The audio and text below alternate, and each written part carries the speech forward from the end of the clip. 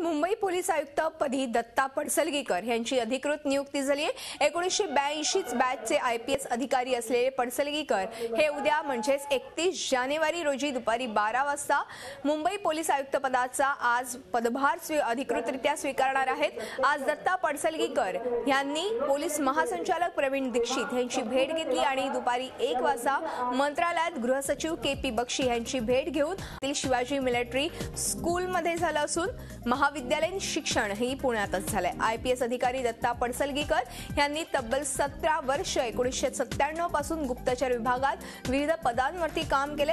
ते आपल्या पदांचा रीतसर पदभार सोपवून आज मुंबई पोलीस आयुक्त पदाचा पदभार स्वीकारणार आहेत.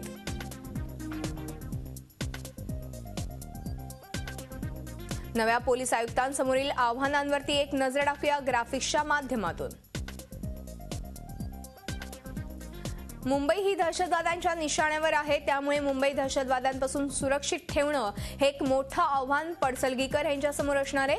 दहशतवाद्यांशी लढ लढण्यासाठी आणि दहशतवादी घटनांचा तपास करण्यासाठी देखील त्यांना तत्पर व्हावं लागणार आहे.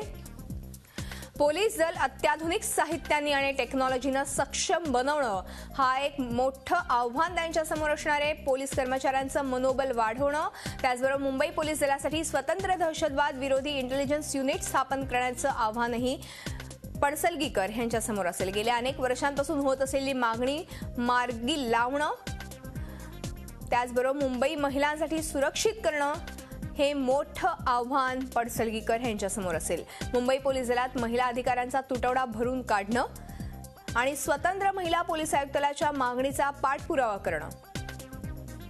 मुंबईतील वाढती गुन्हेगारी कमी करणं. सायबर फसवणुकीच्या वाढते गुन्हे रोखणं. सायबर गुन्ह्यांसंदर्भात जनजागृती निर्माण करणे. ही वेगवेगळी आव्हानं या नव्या पोलीस आयुक्तांसमोर असणार आहेत. झी चोवीस तास. रहा एक पाऊल पुढे.